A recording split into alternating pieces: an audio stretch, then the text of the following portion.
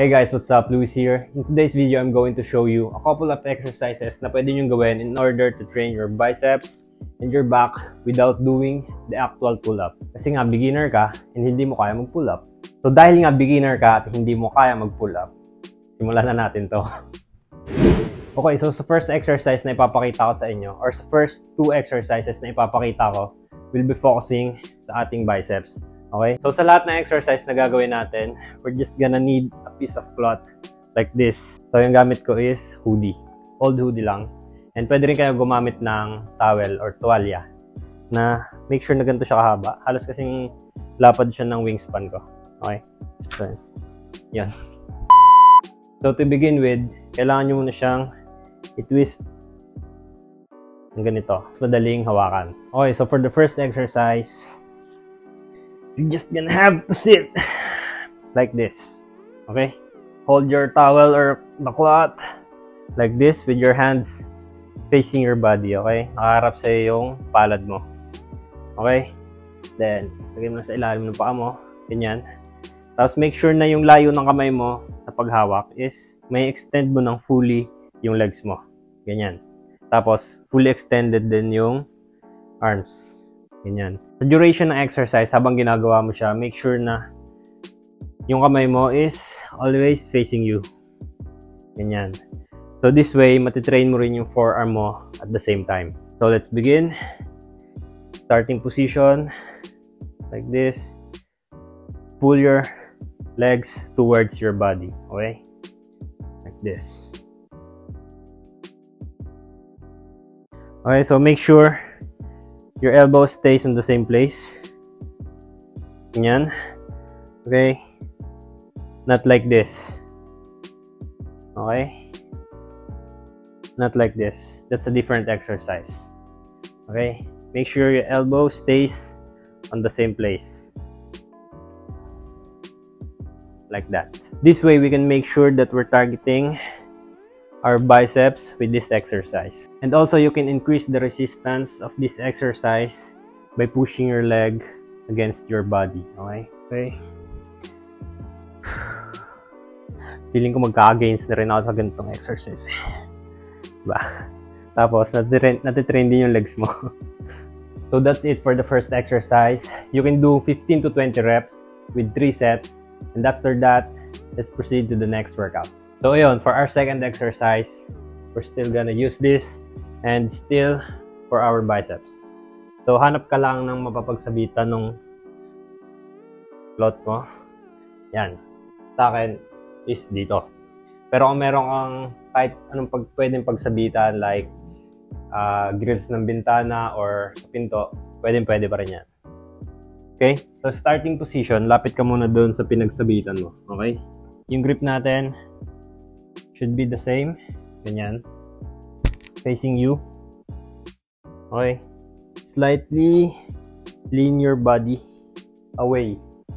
Away, ah. Away from the anchor point or dun sa pinagsabitan mo. Ganyan. So, kung masyado siyang mahirap, pwede mong i-atras yung paa mo. Okay? Babawasan mo yung lean angle, mas gagaan ka. Okay? So, kung gusto mong mas mabigat, lapit mo lang yung paa mo. Increase the lean angle. Okay? Mas bibigat ka.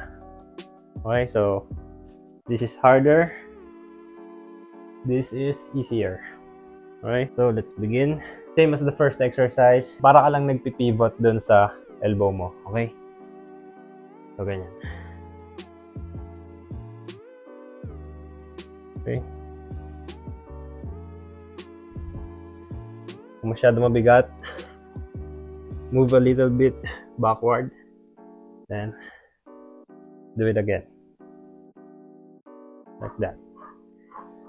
Pull your hands towards your face. Okay?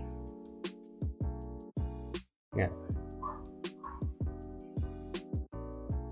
So this exercise is harder than the first exercise. So you can do 12 to 15 reps of this exercise. Also with 3 sets. Okay, so that's it for our biceps exercise. Now let's proceed with the back workout. Okay?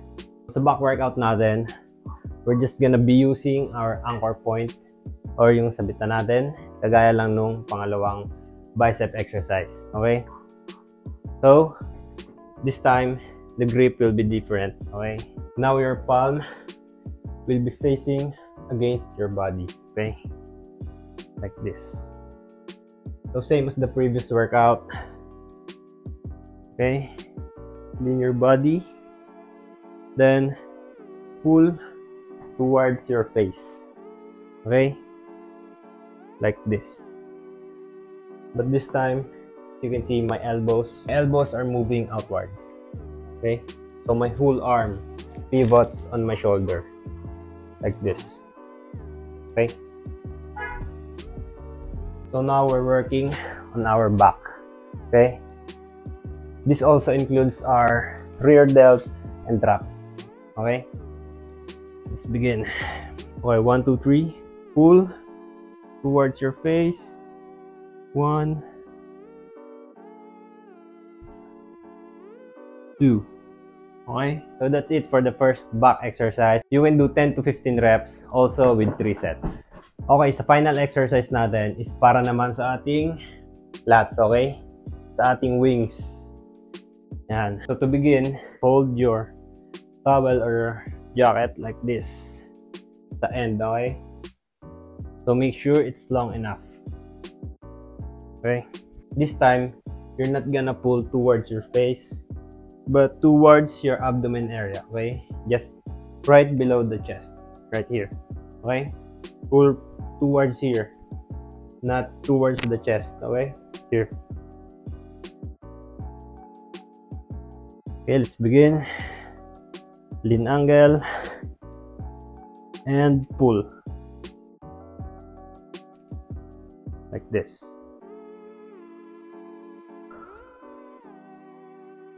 And that's it for the last exercise.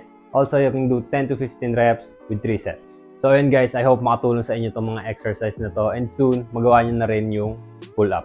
So that's it for the Calisthenics Twins quick fitness tips. Make sure to hit that subscribe button and see you again next time.